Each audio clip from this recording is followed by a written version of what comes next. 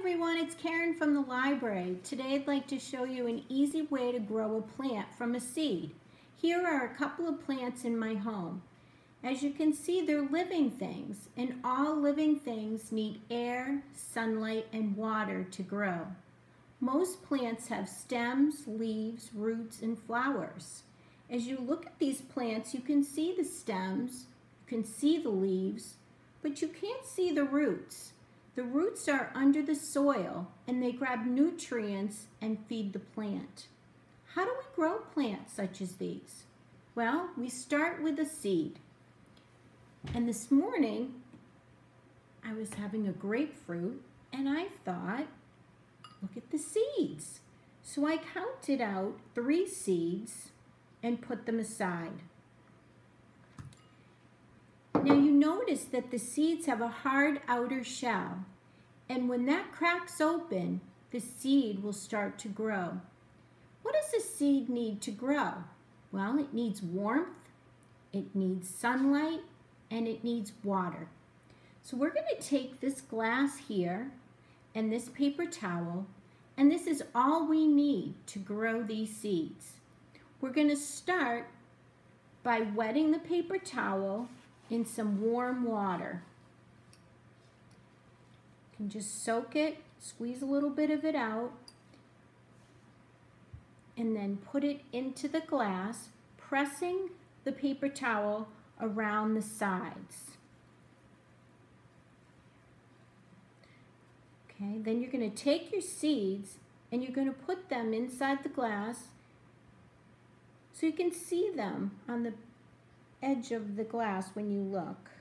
Don't put them too close to the bottom because you want to be able to see the roots start to grow. And this is all we need to do to grow these seeds.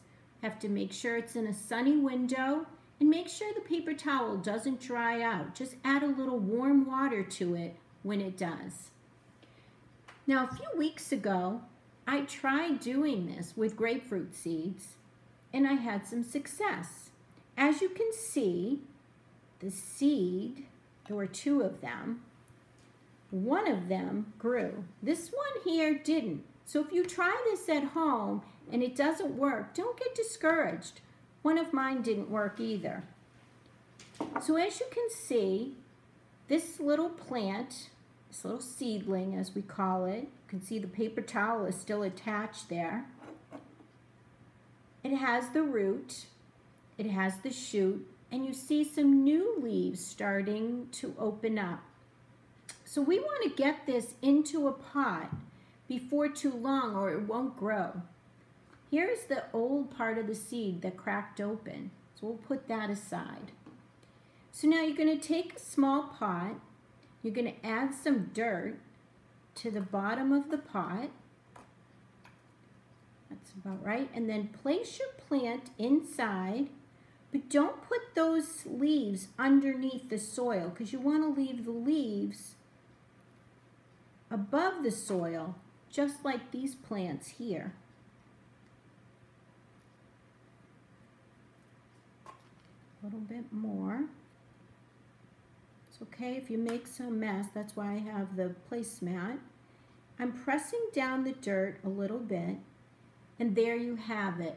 The grapefruit seed turned into a seedling and it's planted in this little clay pot. Now, do you remember what we need to keep this plant growing? We need air, water, and sunlight. So I'm going to make sure I put this in a sunny window and water it a little every day, not too much. So why don't you give it a try? Try planting a seed I've used bean seeds before and they work. Um, or you could try an orange seed or a grapefruit seed. And do you ever see a grapefruit tree growing outside? If you said no, you're right. Massachusetts is too cold for grapefruit trees to grow. But it'll be fun to try to grow the grapefruit tree. And who knows, maybe someday I'll be living in a warmer climate and I can plant the tree there. So for now, I'd like to show you a couple of books that I have. This one is checked out from a library. It's called Seeds, learn about plants. You can check this out from Hoopla with your Danvers Library card. The other book is A Seed is the Start by Melissa Stewart. And this is available at the Danvers Library. So when we open up again, you could come and check this out to learn more about seeds. So good luck with your planting, and we'll see you next time. Bye.